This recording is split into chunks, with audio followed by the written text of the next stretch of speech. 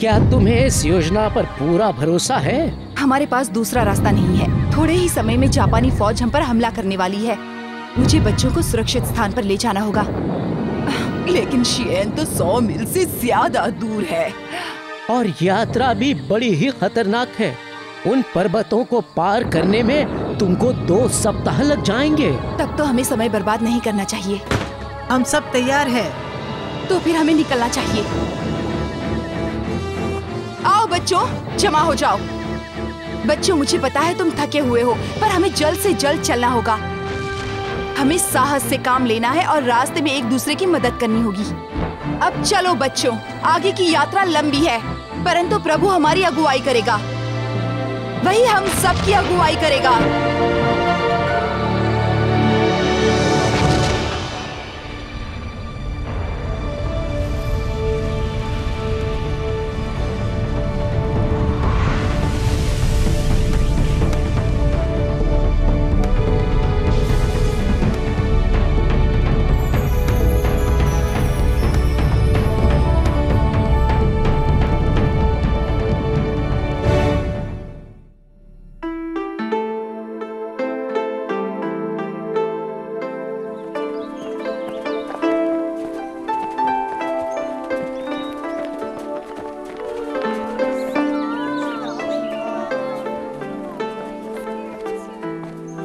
क्या हम वहाँ पहुँच गए?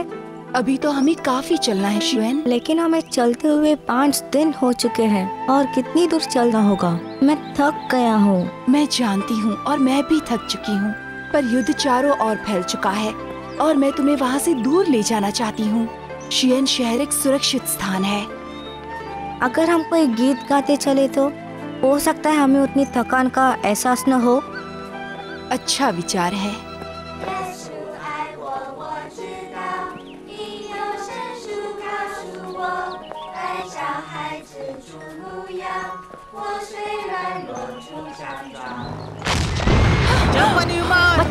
बच्चों भागो भागो भागो पेड़ की ओर भागो भागो लेट जाओ नीचे लेटो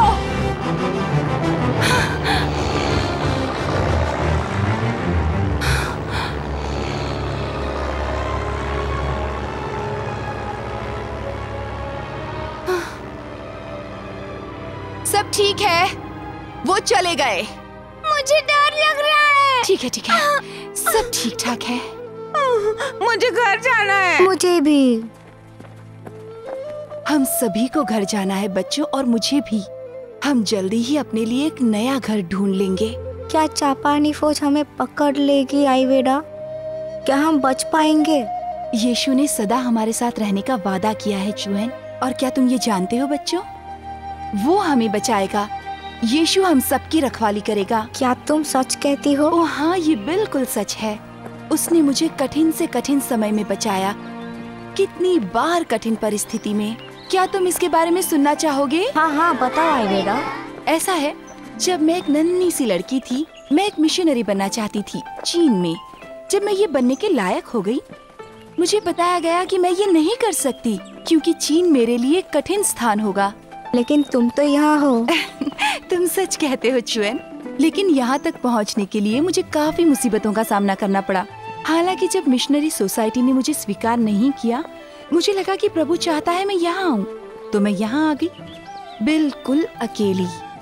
मेरे पास कोई खास पैसे नहीं थे तो मैंने ढूंढ निकाला कि यहाँ तक पहुँचने का सबसे सस्ता रास्ता है ट्रेन। पर मैंने नहीं सोचा था कि रूस और चीन के बीच की लड़ाई मेरी ट्रेन को वीराने में रुकने पर मजबूर कर देगी। मैं अकेली थी और डरी हुई। उस कड़ाके की ठंड में मैंने पहले कभी इतनी ठंड नहीं देखी थी।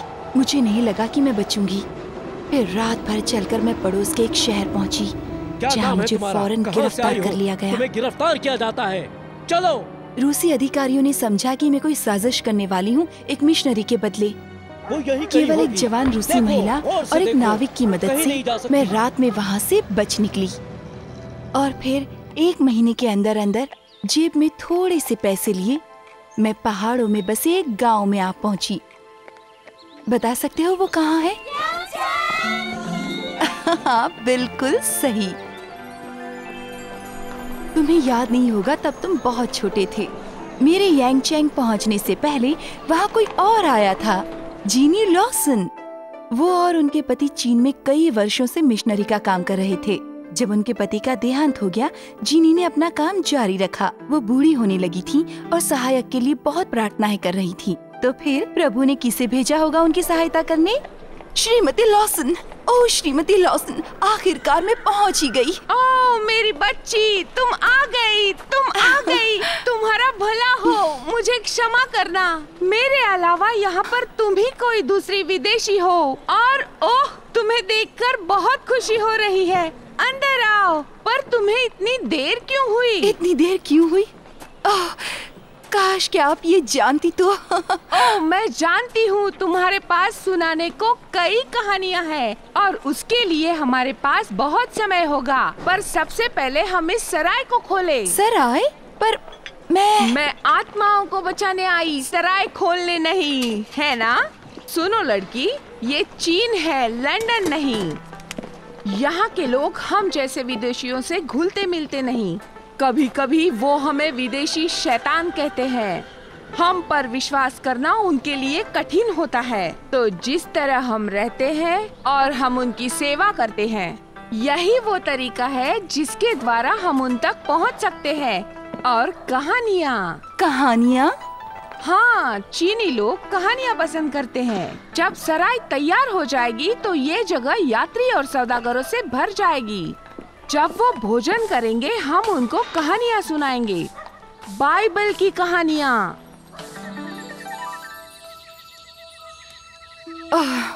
वो मेरे लिए एक सपने के समान था। एक सेवक लड़की जो आखिरकार चीन पहुँच गई। सेवक? क्या तुम एक सेवक हो? मैंने यहाँ आने के लिए किराया एक नौकरानी बनकर जमा किया था। क्या आपको अपने मम्मी पापा को छोड़ते समय दुख हुआ था? मुझे मम्मी की याद आती है। हाँ माता पिता को छोड़कर मुझे दुख हुआ था। पर मैं इतनी खुश थी कि प्रभु ने मुझे चीन आने को कहा। जहाँ एक दिन मैं आ मिली तुमसे। हमें और बताइए बताइए ना और बताइए। ठीक है। एक वर्ष बीत जाने के बाद वो सराय मेहमानों से भरने लगी थी। उन्हें हमारे यहाँ रहना पसंद था क्योंकि हम उन्हें कहानियाँ सुनाते थे। प्रभु ने हमें आशीष के रूप में चैंग जैसा रसोईया दिया। बहुत खूब! कुमारी ग्लैडिस कहानी बहुत बढ़िया है। मुझे वो अंत अच्छा लगा जब लाजरस कब्र से निकल कर आता है। शुक्रिया चैंग। पर मुझे अभी बहुत सीखना है। आशा है कि श्रीमती लॉसन अपनी आउटरीच यात्रा से जल्द लौटेंगी। मुझे नहीं लगता कि उनके बिना मैं सराय को ठीक तरह से चला कुमारी पाऊँगी। ग्लैडिस कुमारी ग्लैडिस श्रीमती लोसन उनके साथ छिनछुई में दुर्घटना हो गई है। क्या? वो तो पहाड़ों के उस पार है। ये कब हुआ? चार दिन पहले मैं तुरंत ही आ गया। वो मर रही है कुमारी ग्लैडिस उन्हें सहायता चाहिए। लेकिन श्रीमती लॉसन का देहांत हो गया और मैं अकेली रह गई। मेरी समझ में नहीं आया कि मैं सराय कैसे चलाऊं। आपको कुछ खा लेना चाहिए कुमारी ग्लैडिस। शुक्रिया चैंग। अब पर मुझे भूख नहीं लगी है। जब से श्रीमती लॉसन नहीं रही आप ऐसी हो गई हैं। आपको पैसों की चिंता है? चाहे तो मुझे तनख्वाह मत दीजिए कुमारी ग्लैडिस। मैं मुफ़्त में काम करूँगा प्रभु के लिए। शुक्रिया चैंग। दरअसल श्रीमती लॉसन के पेंशन के बिना हमारा गुजारा बहुत मुश्किल है। मुझे किसी दूसरे प्रदेश में जाकर दूसरों के संग काम करना होगा। नहीं आप यहाँ अच्छा काम कर रही हैं। अभी। फ़िक्र मत करिए चैंग मुझे प्रार्थना करने दीजिए। ठीक है कुमारी ग्लैडिस।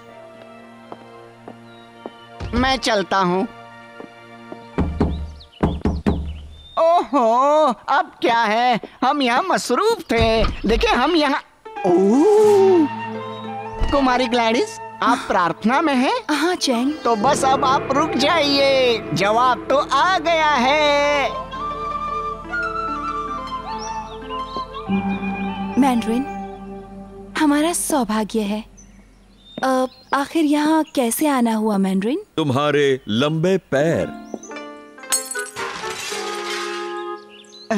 क्षमा करें। मेरे लंबे पैर? क्षमा करे पर मैं कुछ समझी नहीं।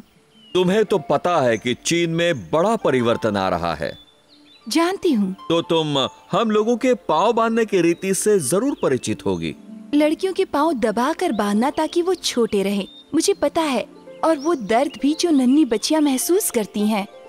अगर मैं सच कहूँ तो मैंने प्रार्थना की है कि ये रीति खत्म हो जाए। हाँ तब तो शायद तुम्हारी प्रार्थना को सुन लिया गया है। नई सरकार का ये आदेश है कि पाँव बांधने की रीति तुरंत बंद कर दी जाए। मैं महिलाओं की ओर से बहुत खुश हूँ। इसीलिए मुझे तुम्हारी ज़रूरत है। जिस महिला के पाँव बड़े हैं उससे अच्छा पाँव की जाँच करने वाला अधिकारी भला और कौन हो सकता है?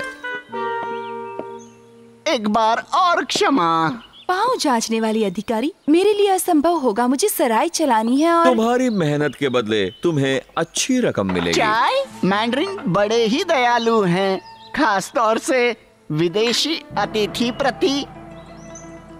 मुझे आपका उपहार स्वीकार है। ये जानते हुए कि दयालु मैंड्रिन मुझे उन गाँवों में अपने विश्वास का प्रचार करने देंगे जहाँ भी मैं जाऊँगी। मेरा काम है कानून का पालन करना। धर्म से मेरा कोई संबंध नहीं। ये मैं तुम पर छोड़ता हूँ। पाँव की जाँच करने वाली अधिकारी? मैं आपकी एक दीन सेवक हूँ। कुमारी ग्लैडिस प्रभु सही समय पर जवाब देता है। तीन मिनट पहले पैसा नहीं था और अब पाँव की जाँच करने वाली सरकारी अधिकारी। कितने सुंदर है उसके पाँव जो सुसमाचार प्रचार करता है।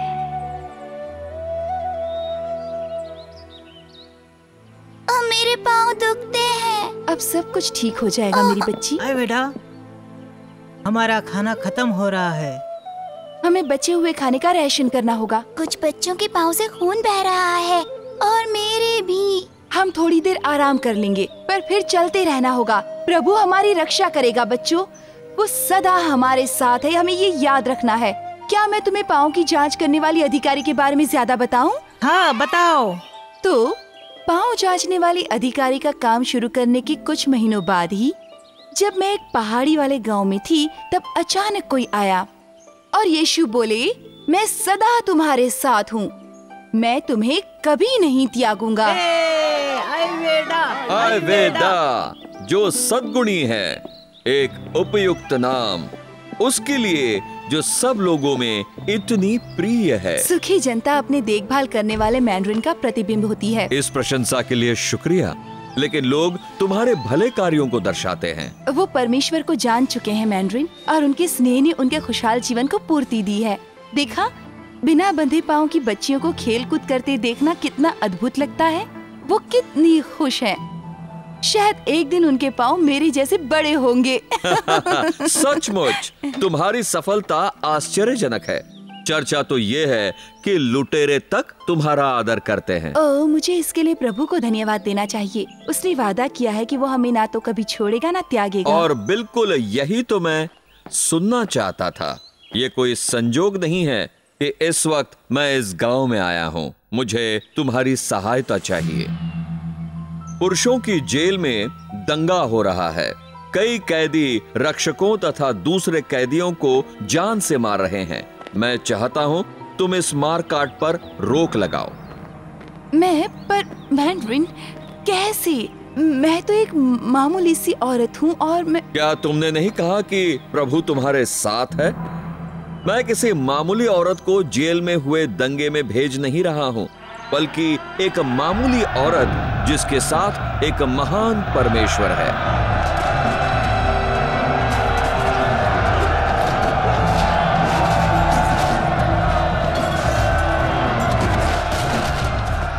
प्रिय यीशु, तूने कहा है, वो जो तुझ में है, उसकी तुलना में इस संसार के लोग कुछ भी नहीं। मेरा तुझ पर विश्वास है। इन लोगों की रक्षा कर प्रभु। इनकी। रुक जाओ। आयवेडा इसे नीचे फेंक दो। आयवेडा तुम तो वही महिला हो जो प्रभु की बात करती है। तुम्हारे बारे में बहुत सुना है। लोगों से कहो कि वो मार काट बंद कर दें। मैं यहाँ तुम्हारी सहायता के लिए आई हूँ।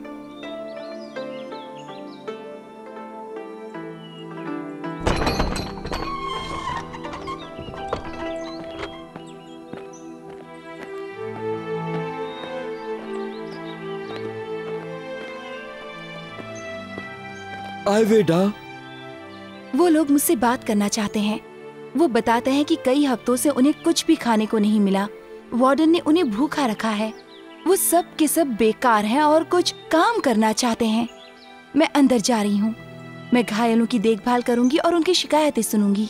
मैंड्रिन, अब वो दंगा नहीं करेंगे।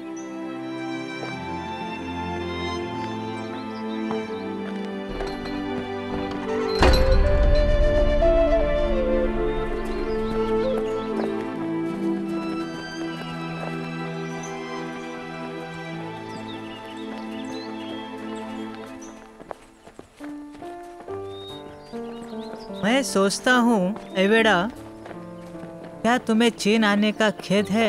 हमारे जैसे कितनों की तुम्हें देखभाल करनी पड़ रही है। क्या हम तुम्हारे लिए बोझ बन रहे हैं?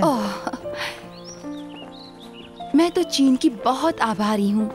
यही वो जगह है जहाँ प्रभु ने मुझे बुला भेजा और उसने मुझे तुम सब के साथ आशीषित भी किया।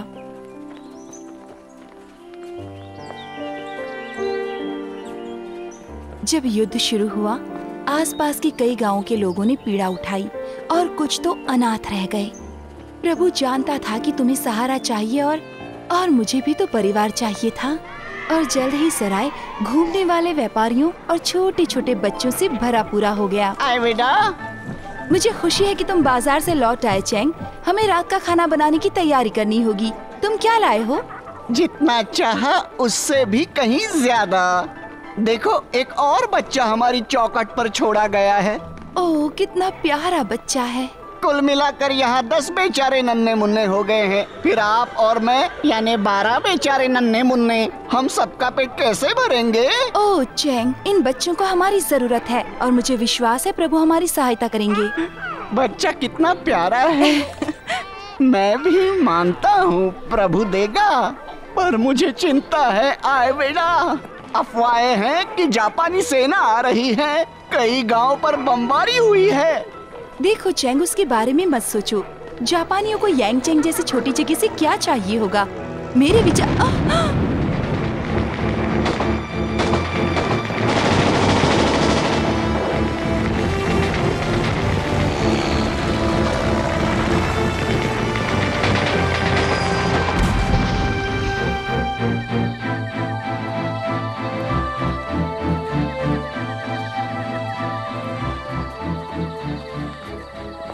आई बेटा। छुपने की कोई जगह नहीं बची। हमारे गाँव पर बार बार हमले हुए। हमें उसे छोड़ देना पड़ा। हम यहाँ तुम्हारा दिल से स्वागत करते हैं। हमारे साथ बच्चे हैं। केवल वही नहीं जिन्हें मैंने गोद लिया है पर उन हमलों के कारण बहुत से बच्चे अनाथ हो चुके हैं। और उन्हें भी सहारा चाहिए। चैंग को अपने परिवार को संभालने जाना पड़ा। अब मैं अकेली आ गई। तुम अपने साथ कितने बच्चों को लेकर आई हो? पैंसठ। हाँ? मैं पैंसठ बच्चों को अपने साथ लाई हूँ। क्या पैंसठ बच्चे? तब मैं खाना तैयार करती हूँ। अब तुमको आराम करना चाहिए। मैं बच्चों को रात के लिए तैयार करती हूँ। मुझे कल सुबह होते नीचे जाना होगा वहाँ कई घायल हैं और उनको सहायता चाहिए।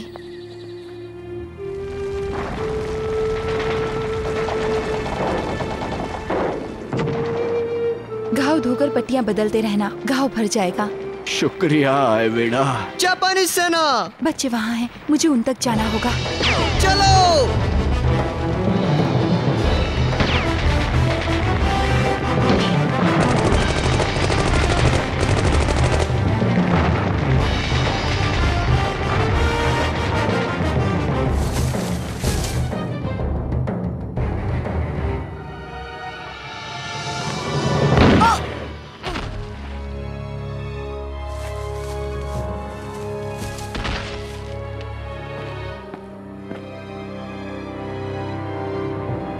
तुमको गोली लगी थी। हाँ पर सौभाग्यवश मेरे कंधे को छूकर निकल गई।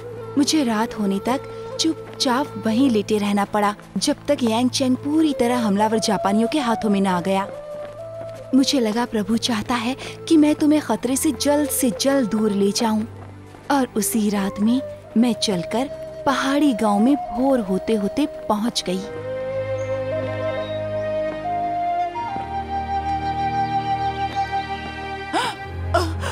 आयुर्वेदा। मैं ठीक हूँ। और बच्चे?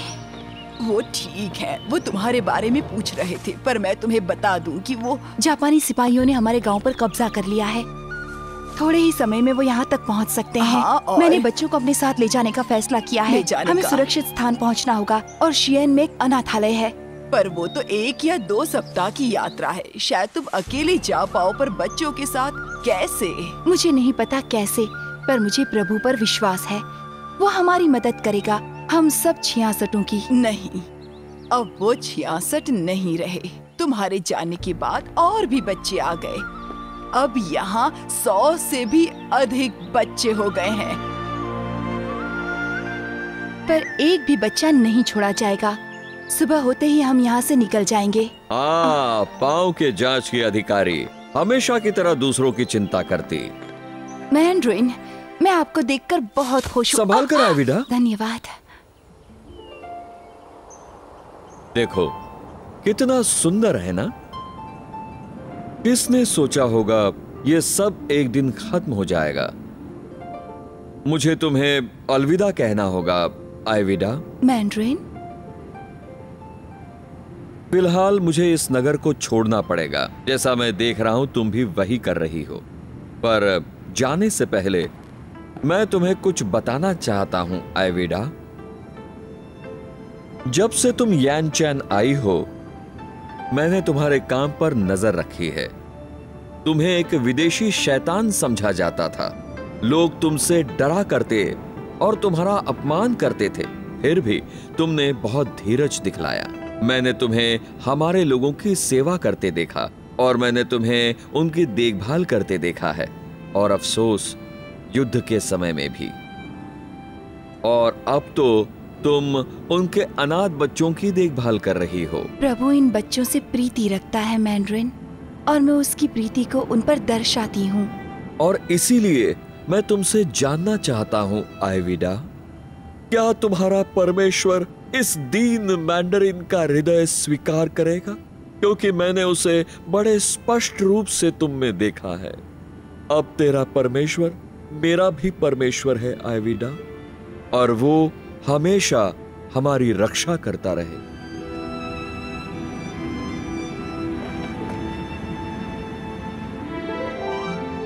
और इस प्रकार मैंड्रिन ने यीशु को जाना और कैसे प्रभु ने हम सबको एक साथ जोड़ा।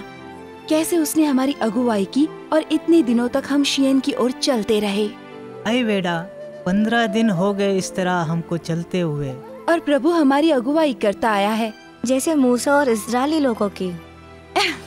हाँ कुछ ऐसे ही। तब तो वो हमें भी सुरक्षा से पहुँचाएगा आईवेडा जैसे मूसा को। नदी नदी है। देखो वहाँ नदी है।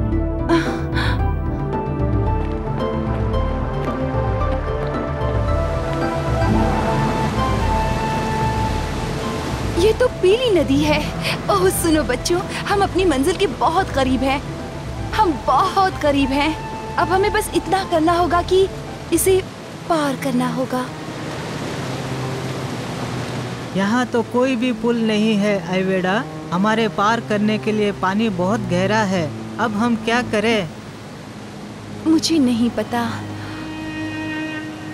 मैं आ, अब बच्चों सुनो। आईवेडा क्या तुम्हें याद है परमेश्वर ने इसराइली लोगों की मदद की थी लाल समुंदर पार करने में? हाँ मुझे याद है। तो क्या वो इस नदी को पार करने में हमारी मदद नहीं करेगा? ओ मेरे प्यारे पर मैं मूसा नहीं हूँ। पर आईवेडा परमेश्वर आज भी परमेश्वर है।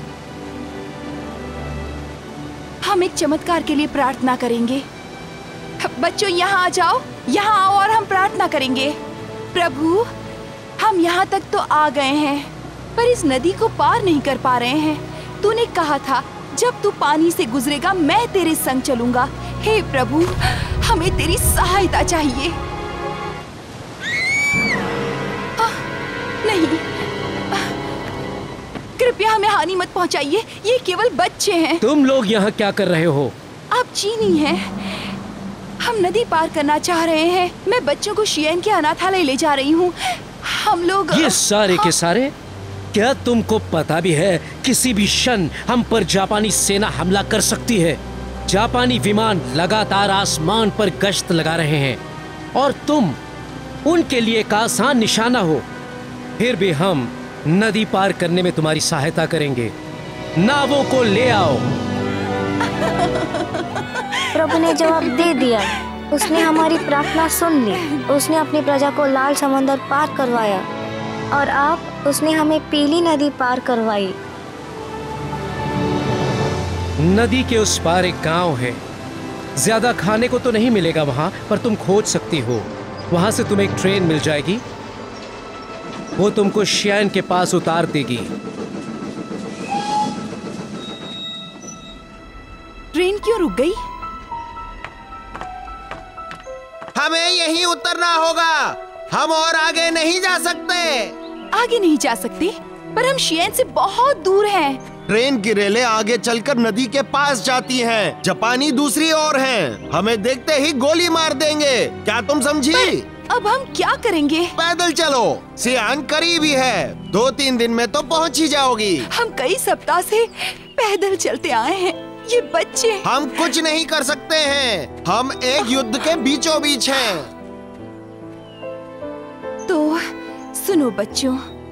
अब दो तीन दिन की बात है और सोचो तो गर्मा गर्म भोजन नरम बिस्तर और लंबा आराम। इसके लिए तुम थोड़ा चल सकते हो है ना?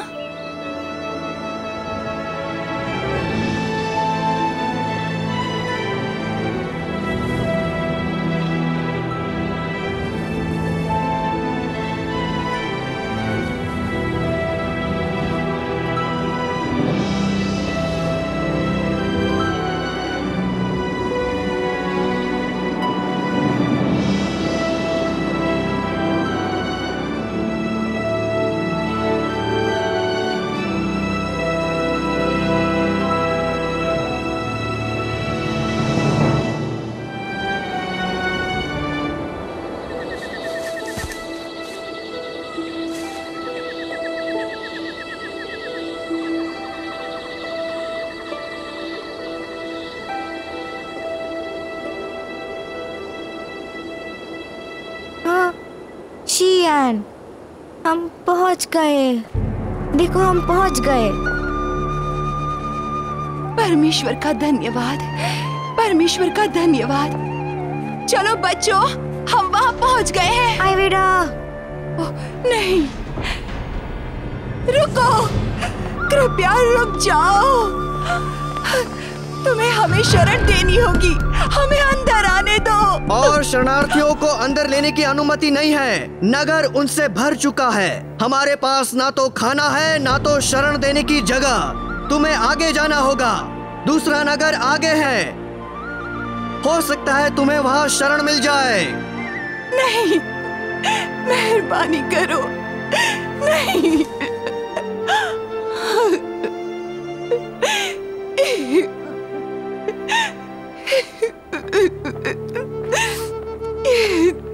चिंता मत करो आई बेटा प्रभु हमारी अगुवाई करेगा। वो हमारी अगुवाई करेगा।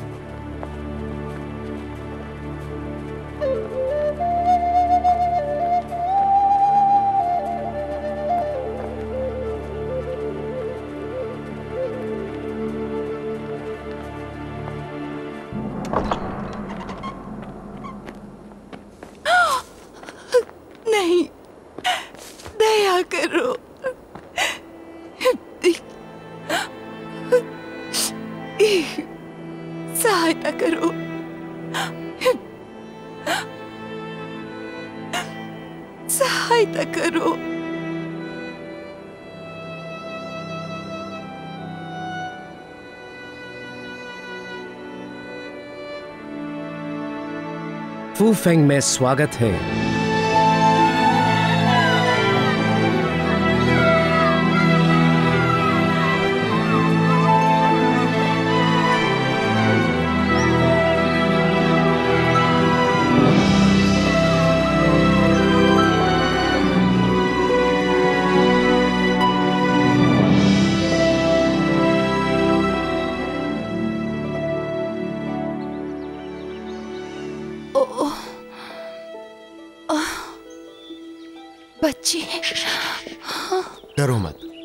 वो सुरक्षित हैं।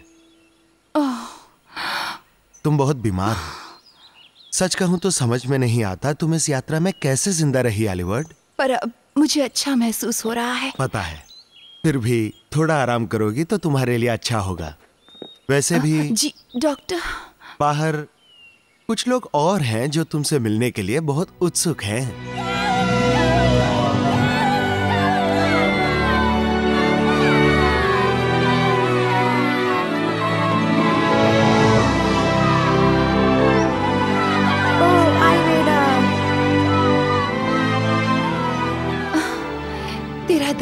प्रभु, तूने सदा हम सबकी अगुवाई की है।